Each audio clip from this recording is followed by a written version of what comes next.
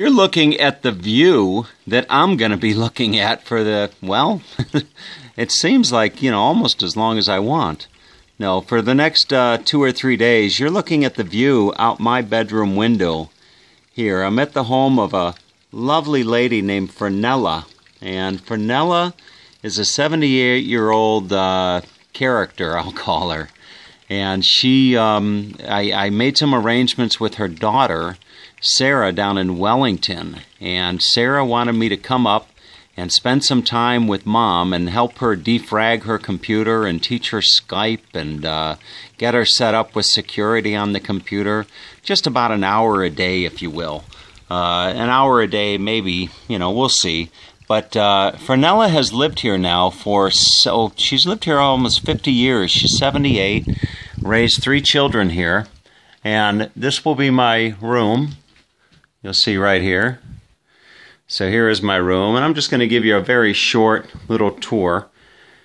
Have some nice flowers waiting for me. And it is a sheep farm and cattle farm, 2,700 acres. And this right here will be my office. And Fernella, this is Fernella's office. So I'm going to show you some of the uh, some of the some of the property here. There's the, my little rental car. You'll see my little rental car I came up from Auckland. And if I come down here, look at the rose garden. Wow. You know, this is one of the things that I just love about traveling. You know, you just you get some good and you get some bad, but uh, today I definitely got the good, and I'm going to stop and smell the roses. That is for darn sure. I can't remember how many rose plants she told me that she has here, but look at all of these beautiful, beautiful roses. And if I walk back, uh, no, actually, I will just come out, uh, come out this way. Fernella is out here somewhere pruning, and she is. Uh, to say the least. She is quite the character. So let's just take a walk through.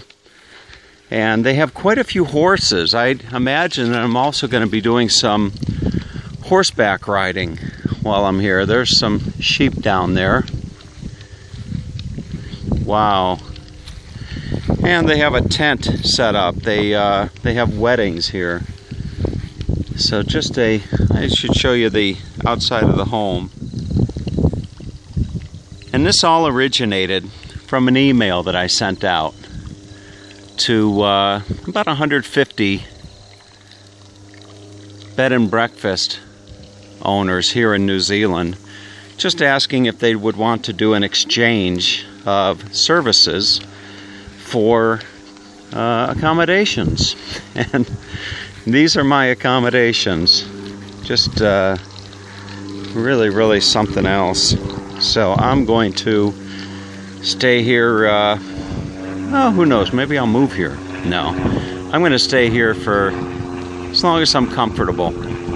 Two or three nights, maybe, and then find my way over to Napier's, and then from there uh, uh, down to Wellington.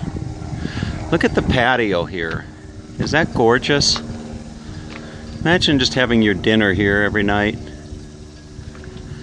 Just spectacular. And then uh, into the living room, and here's the little little poochie. Huh? I'm not sure what uh, this little guy's name is, or little girl. But anyway, and then here is the the living room. Absolutely lovely. So I'm going to uh, get settled in and get to know Fernella a little bit better.